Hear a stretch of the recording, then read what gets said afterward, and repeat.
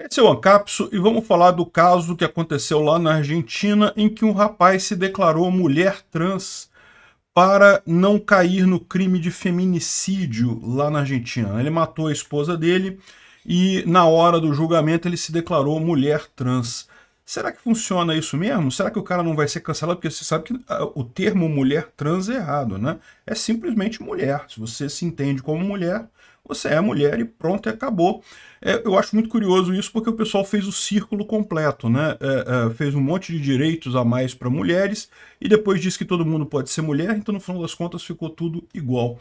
Vamos entender esse caso. Será que isso daqui cola do ponto de vista jurídico? Vamos entender esse assunto. Essa notícia foi sugerida por Oswaldo, Ain Isso Vai e várias outras pessoas. Obrigado aí ao pessoal que sugeriu a notícia. Obrigado a você que está assistindo o nosso vídeo. Se você gosta do nosso conteúdo, por favor, deixe o seu like e se inscreva aqui no canal. Né?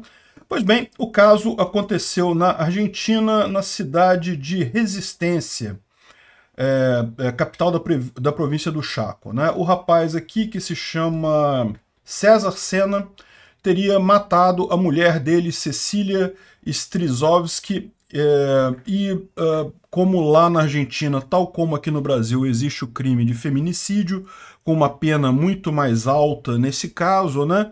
Ele seria condenado pela lei argentina à prisão perpétua. Então, ele quer evitar a prisão perpétua e, é, portanto, ele se declarou mulher trans.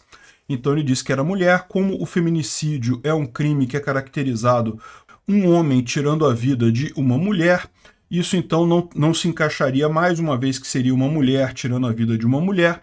Isso cai para homicídio simples, ainda são muitos anos de cadeia, evidentemente, é um absurdo de qualquer forma tirar a vida de qualquer pessoa, mas é, ele foge dessa tipificação mais grave, né? E aí cabem um monte de perguntas aqui. Né? A primeira coisa, deixar claro para vocês, eu já falei em outros vídeos, eu acho o crime de feminicídio uma aberração jurídica, porque em última análise, o que o crime de feminicídio com uma pena mais agravada está dizendo é que uh, a morte de uma mulher é pior do que a morte de um homem. E, na minha visão, a vida das pessoas é, são equivalentes. Né? Você não pode valorizar a vida de uma pessoa mais do que outra por qualquer coisa que seja, por qualquer atributo que seja. Se é homem, mulher, branco, preto, velho, novo, não importa. Uma vida é uma vida. Né? Então, eu acho uma aberração jurídica esse crime de feminicídio. É, é, é a tentativa, como eu digo, de. Uh, o pessoal lutou durante muito tempo pela igualdade da mulher. Isso é plenamente justo. Isso, lógico que tem que ser a mesma coisa. E agora o pessoal começa a lutar pelo, pelo privilégio da mulher. Né? A mulher tem um privilégio em relação ao homem. É, em várias situações, particularmente no caso do crime de feminicídio, é, porque se você matar um homem, a coisa não é tão séria, mas se você matar uma mulher, a pena é muito maior. Né? Bom, isso daqui claramente é uma coisa ligada a, a, ao entendimento lá na Argentina do crime de feminicídio, porque aqui no Brasil já existe o entendimento de que, na verdade, o que importa é que a vítima é mulher.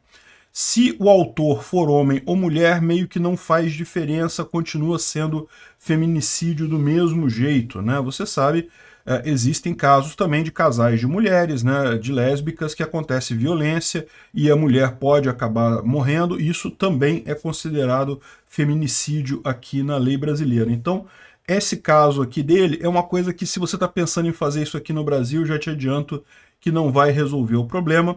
Lá na Argentina, aparentemente, faz há essa distinção, há essa possibilidade de se usar isso daí, né? Aí você pode falar assim, ah, mas então o pessoal vai investigar a vida dele vai perceber que não, que ele não era uma mulher trans, né? Que ele era um homem, coisa e tal. Mas a questão toda é o que se coloca hoje no embate cultural aqui no Brasil e em vários outros lugares do mundo é justamente de que se a pessoa quer ser mulher ou quer ser homem, basta ela querer. Então você não pode exigir nenhum comportamento específico dela. Ah, mas tem barba e se diz mulher? E qual o problema? Mulher não pode ter barba? Ah, mas é, amamenta o filho e se diz homem. Uai, mas qual o problema? Homem não pode amamentar filho? Enfim, tem essa coisa toda que é, alguns acham um absurdo completo. Eu, sinceramente, não tenho nenhuma opinião formada sobre isso. Eu já falei para vocês. Eu acho que se a pessoa. O, o problema que eu vejo é se a pessoa quiser que eu adote esse critério, mas se ela quiser adotar esse critério para si mesmo, ela, todo mundo fica à vontade de se achar o que quer que seja homem, mulher, helicóptero Apache, o que for, não, não me importa. O que eu é, acho um absurdo é você exigir que as outras pessoas te tratem de uma maneira específica. Por quê? Porque isso implica respeito, e respeito não é algo gratuito, respeito é algo que se conquista, não é algo dado numa sociedade, né? Enfim, é, essa é a situação, né? Uh, o crime, lógico, é um absurdo, ninguém é a favor de violência contra a mulher, ao contrário, é um absurdo completo isso. Ainda mais, além de ser uma violência contra a mulher, é também uma covardia, porque tipicamente o homem tem uma força física maior do que a mulher, na maior parte dos casos. Então, uh, uh, não apenas é uma crueldade o crime, como também você tem o fator da covardia aí, né? De novo, é, é, é, é, lógico que toda, todo crime contra a mulher deve ser punido. O meu ponto aqui é que você não pode usar nem o fato de que é, é existe uma diferença de, de, força, nem qualquer outro aspecto para é, valorizar diferente a vida das pessoas. Né? A, a norma penal, no final das contas, ela está dando a valoração que a sociedade dá para aquela vida. E você dizer que uma vida é mais é mais valiosa do que outra é um passo extremamente preocupante, na minha opinião. Né? Enfim, na ética libertária, nem preciso dizer para vocês, da mesma forma você tem é, é, agressão à propriedade privada, é a mesma coisa, né? tanto homem quanto mulher, quanto qualquer, qualquer coisa, o valor que é dado àquilo é justamente definido pela, pelo direito de resposta naquela situação, então não tem distinção entre homem, mulher, preto, branco, enfim, velho, criança, enfim, não tem diferença nisso daí. Né? O caso lá, então, ele, ele, ela desapareceu no dia 2 de junho desse ano, foi vista pela última vez na cidade de Resistência e é, acabaram sendo levadas, é, as investigações levaram ao marido dela, que é, né, se declarou então uma mulher transgênero. Esse termo é errado, você sabe, né? Pelas regras aí culturais do pessoal, você não pode falar mulher transgênero. Tem que falar simplesmente mulher. Cara, é uma mulher, né? Ele está querendo dizer que é mulher, mulher, pronto, acabou. E agora, segundo a Glória Romero, que é a mãe da Cecília, né, a filha dela que foi morta, a transgeneridade do César é uma tática. Né? A maior parte dos estupradores e feminicidas faz isso, isso no vídeo que ela falou nas redes sociais. Ser vítima é o comportamento natural desse tipo de pessoa, são psicopatas e covardes. O problema aqui é, mas então, você está dizendo que não basta a pessoa dizer que é mulher para ser tratado como mulher? Repara o dilema que cria essa história toda, essa confusão toda que a esquerda está fazendo em cima disso. Né? Veja, eu entendo o problema original dessa ideologia de gênero, a coisa que originou esse tipo de coisa.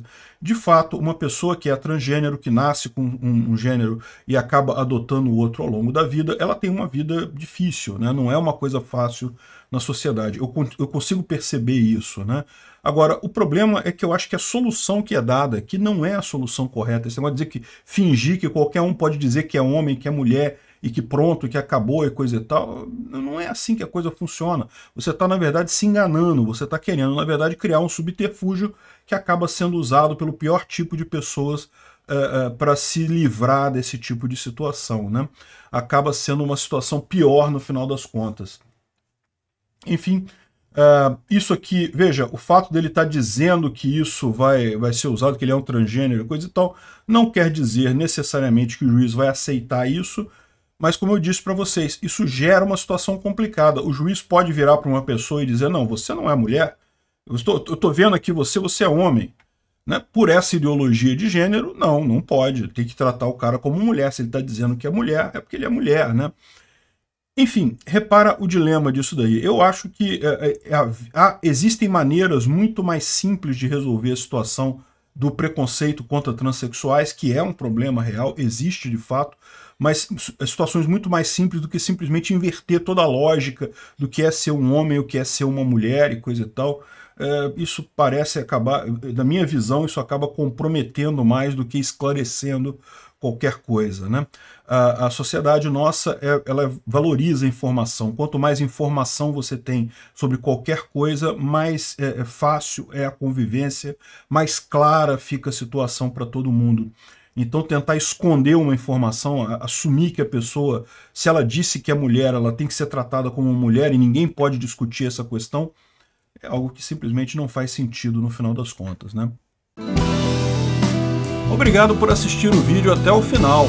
Além de curtir, compartilhar e se inscrever no canal, considere se tornar patrocinador com valores a partir de R$ 1,99 clique no botão Seja Membro abaixo para saber as condições e vantagens de patrocinar o canal. Mais informações sobre o nosso projeto, visite nossos sites indicados na tela.